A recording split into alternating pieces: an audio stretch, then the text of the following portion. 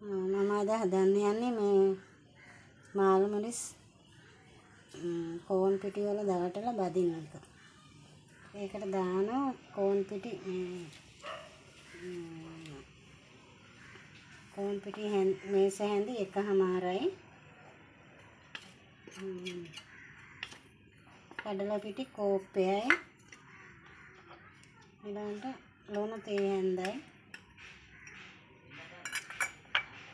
ඊළඟට දානවා මේ අප්ප සෝඩා තේ හැඳි භාගයක්.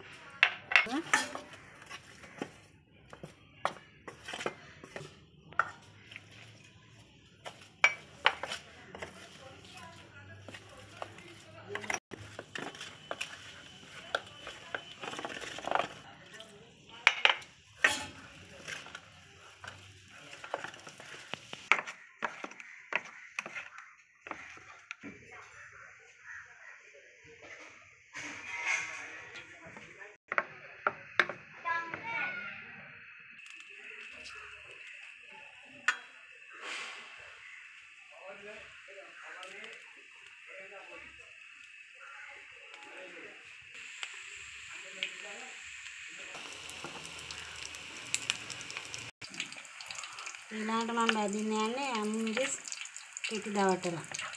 කෝන් පිටි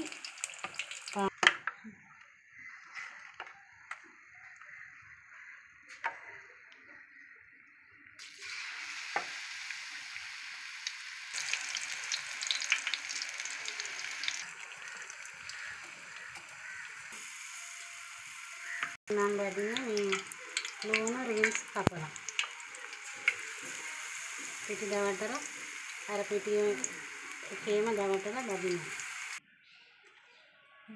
මාළු මිරිස් කඩලා පිටි කෝන් පිටි පාන් පිටි කලවම් කරලා තුනම නැට්ට පිටි අලුවක් කප් රින්ස් ලුණු අමු මිරිස් බෙදපුවා.